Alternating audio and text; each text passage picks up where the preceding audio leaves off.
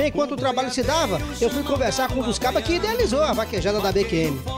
Ismar Morim, que é o proprietário do Aras Passira, que fica lá em Gravatar, no estado de Pernambuco. Explique aí essa história direito, seu moço.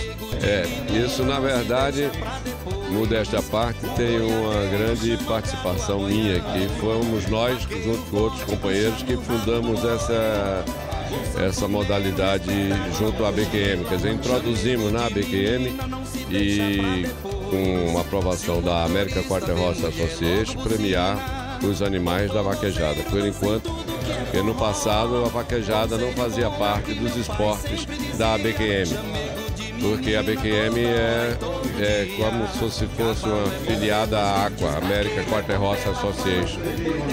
Então nós aqui no Nordeste, com nossos amigos e companheiros, é, conseguimos é, dar um padrão à vaquejada, construir um regulamento que fosse acessível e compatível com as exigências da BQN. E a partir daí é que a vaquejada passou a ser prova oficial da BQM e da Aqua também.